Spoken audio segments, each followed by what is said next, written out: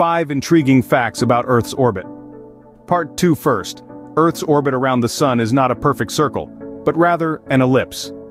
This means that the distance between Earth and the Sun varies throughout the year second. Earth's axis is tilted at an angle of approximately 23.5 degrees relative to its orbital plane. This tilt is responsible for the changing seasons. Third, as Earth orbits the Sun, it also rotates on its axis causing the cycle of day and night. Interestingly, this rotation is not perfectly synchronized with its orbit. Fourth, Earth's orbit is inclined at an angle of approximately 7 degrees relative to the plane of the solar system. This inclination allows for unique celestial events such as solar and lunar eclipses. Lastly, despite its immense size, Earth travels through space at a staggering speed of about 67,000 miles per hour in its orbit around the...